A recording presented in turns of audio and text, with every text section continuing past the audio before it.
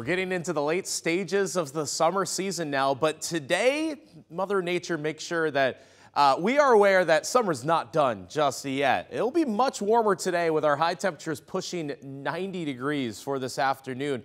Doesn't stay that way for very long. It's going to be a major cool down for the upcoming weekend with Tomorrow being that transition day, meaning that's our best chance for any rain or storm. So here's how it's going to hash out for these next 72 hours. Today, mostly cloudy, but quite warm outside. We're looking at upper 80s for the most part. Lewiston still going to be into the 90s for this afternoon. But check out the stark contrast between the inland northwest at near 90 degrees versus the west side and Seattle at 70 for the high. And that's because that colder air mass is already starting to move into western Washington today, but it takes almost 48 hours before it arrives for uh, eastern Washington. So it's this low pressure area spinning off the coast, but it does have a little bit of momentum, but it's going to be a slow go between where it's at now to when it will be on top of us by Friday evening. So yeah, that colder air already moving into western Washington. The Cascades will hold it back for just a little bit here,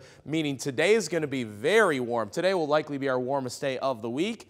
And then Saturday, by far our coldest day of this week. No rain chances out here for today. All that's going to stay on the west side. But as we look at Friday evening, this is when the storm system starts to pass through. This is when that cold front is passing through as well. So by about 5 p.m., this is where we start to get some scattered shower chances. And it actually looks pretty impressive through those early evening hours. Here's 8 p.m. on Friday. Not just scattered showers, but I do think there will be some embedded thunderstorms along with this. So little bursts of some heavier rainfall. And I mean, this is going to contain actually quite a bit of rain. There's a good chance that if you get underneath one of these shower or thunderstorm cells, you're getting at least a tenth or two tenths of an inch of rain in a pretty short period of time.